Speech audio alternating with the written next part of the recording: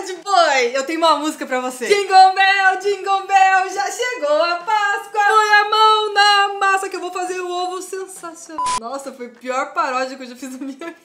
Estamos em clima de Páscoa, que é uma época maravilhosa do ano, aquela época que a gente gosta, porque a gente se entope de chocolate. E o sonho da minha vida, que a minha mãe nunca deu, ela tá bem ali, eu vou falar aqui na cara dela, que eu sempre quis ganhar aqueles ovos que a hora que você abre, assim, bem Instagram, assim, que você abre e cai, aqueles líquidos, tudo fica... E ela nunca me deu. Eu tenho esse trauma de infância, sabe, mãe? Eu tô muito triste. Vai falar nada, não? Fala uma coisa. Então agora que eu cresci, eu sou uma pessoa adulta, dura e responsável, eu vou fazer o meu próprio ovo. E se você também tem um sonho, ou você quer presentear alguém com um presente super da hora de Páscoa que você vai gastar pouco, a receita é tão rápida que tá todo mundo chocado aqui e você vai ficar chocado também. Então, vamos nessa!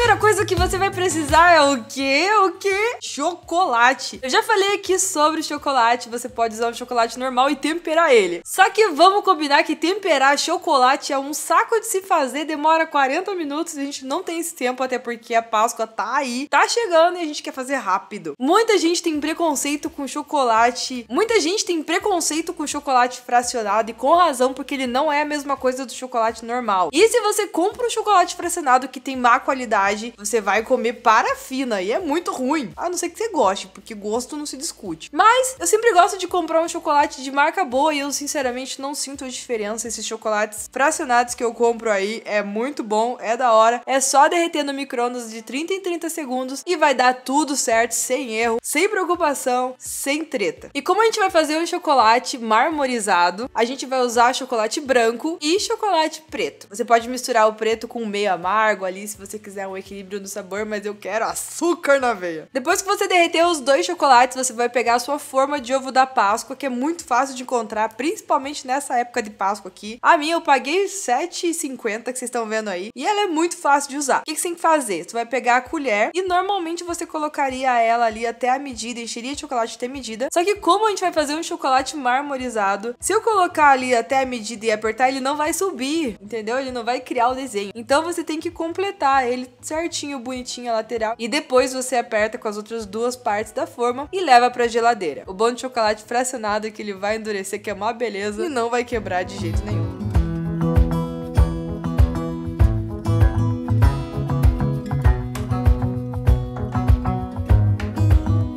Enquanto o nosso chocolate fica lá endurecendo, vamos pro recheio, que também é outra coisa aqui, ó. Mamãozinho com açúcar. Olha, vou fazer um ovo de Páscoa de mamão. Vai que cola, né? Bom, pra começar, já que o nosso ovo é de óleo, né? A gente vai precisar de um pacote de óleo. Eu vou precisar triturar bastante esse pacote de óleo. Comecei ali martelando o pacote fechado, só que ele começou a abrir, não rolou tão bem. Então eu acabei botando as bolachinhas ali dentro de um potinho. Vocês podem ver que um tanto triturou, outro tanto ficou a desejar. Então lá no potinho mesmo com o martelinho, eu fui triturando ele. E aí é uma questão que vai de seu gosto se você quer deixar ele com pedaços maiores ou bem trituradinho. Eu quero pedações, eu quero sentir que é óleo o negócio ali de verdade. Então eu triturei, mas deixei meus pedaços.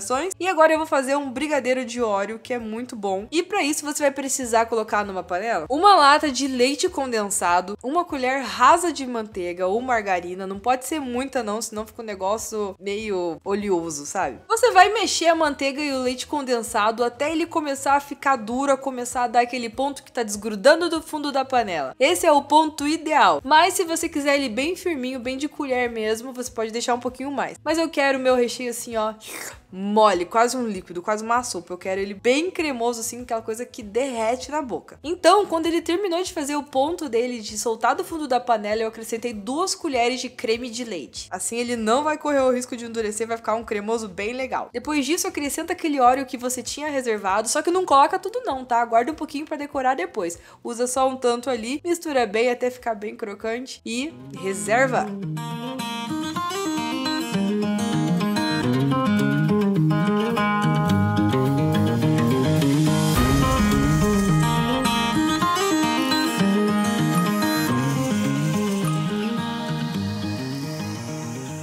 Olha só, o nosso ovo já está endurecido e olha que coisa mais linda que ele ficou, gente. Tá muito bonito.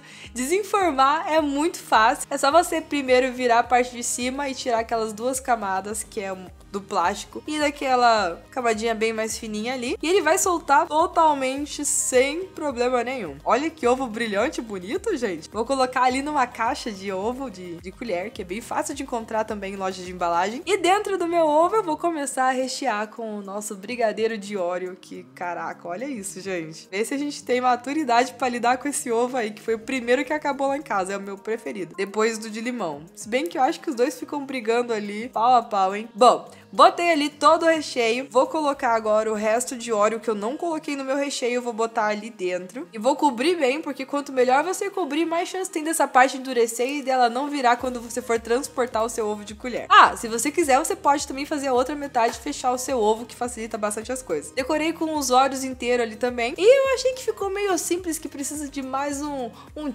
assim. Por isso eu derreti chocolate branco. Coloquei dentro de um saquinho. Eu não vou precisar usar saco de confeitar, porque eu tô usando chocolate mesmo mesmo, só o saquinho vai ser show de bola. E na ponta desse saquinho eu vou fazer um corte mais minúsculozinho, só pra sair um fiozinho de chocolate. E eu vou fazer movimentos de vai e vem, vai e vem ali com chocolate branco pra dar uma decorada extra. E eu achei que ficou tchan. Agora, ó, nossa, olha, parece apetitoso, vontade de morder. E eu não vou passar vontade não, fi, porque essa Páscoa tá, ó, a Páscoa dos meus sonhos. E se eu quero morder, vou morder mesmo. Morder é tudo.